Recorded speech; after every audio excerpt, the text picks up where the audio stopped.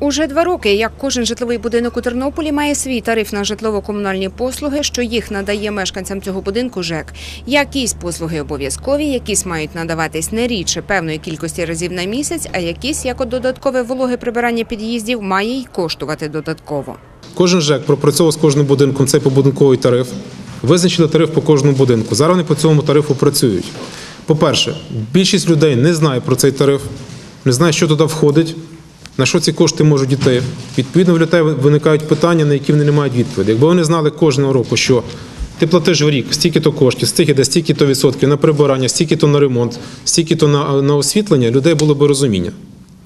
На жаль, цього не існує. Власне, тому вимагалося вчепити в кожному будинку, щоб люди бачили інформаційний стенд, де вони розуміли, що, на що вони, за що вони платять ці кошти.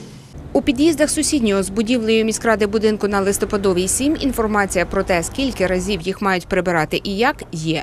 Проте, скільки це коштує, нема. Схоже, ЖЕК графік витримує. Принаймні у під'їздах чисто і видно, що ремонт тут був не так давно. У будинку навпроти на замковій 1, що його також обслуговує Коменерго Тернопіль 2 у під'їздах, які однозначно потребують ремонту, такі ж оранжеві повідомлення наклеєні. Пані Зінаїда каже, бачила та подробиць не пам'ятає. Бачу, що кожен раз приходять і прибирають, а скільки раз не знаю. Добре прибирають. Да, добре. Претензії до ЖЕКу, Ні. які маєте? Да, до, претензій багато до ЖЕКів маю. Ну, а, а от, дивіться, що робиться. Я вже їм сто раз сказала за то. Не хочуть. Підвал там розвалюється так само. Все, і більше ніяких претензій більше немає. ЖЕК не робить нам ремонт в під'їздах. По графіку вже повинні три роки тому назад. Ви подивіться, які страшні обдерті під'їзди, а вони нам не роблять ремонт. А прибирають А дівчата прибирають добре, і дворничиха в нас хороша, і дівчата, що прибирають в під'їздах добре.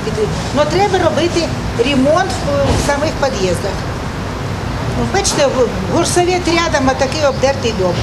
Саме в ході перевірки, ініційованої міською владою, спеціально створена комісія, до якої хочуть залучити і депутатів-мажоритарників, і дільничних міліціонерів, і має з'ясувати, чому не відремонтовані під'їзди, зокрема на замковій 1, чи зверталися із цим мешканці до ЖЕКу письмово, та ще чимало інших питань у стосунках мешканців Тернополя та ЖЕКів.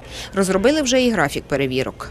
Сама ідея проведення е, це роз'яснення населенню прав жителів будинків, е, обов'язків обслуговуючих підприємств і організацій стосовно проведення вологого прибирання, прибирання сходових кліток, прибирання прибудинкової території, е, регулярного ремонту під'їздів, освітлення дворів, освітлення місць загального використання, поточний ремонт будівель, чистота підвалів, горищ і так далі.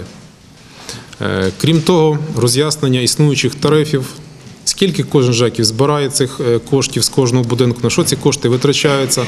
Активнішими слід бути і мешканцям. Під час двомісячника «Чистий під'їзд, чисте місто» їх скарги та пропозиції прийматимуть за телефоном 23 63 97 упродовж робочого часу та 15 80 цілодобово. коли підходить до того, що ми просимо мешканців запропонувати нам старшого по будинку, який буде акумулювати ваші всі проблематику будинкову і висловлювати, формулювати її вже для управління ЖКГ чи для ЖЕКу, чи для міського голови.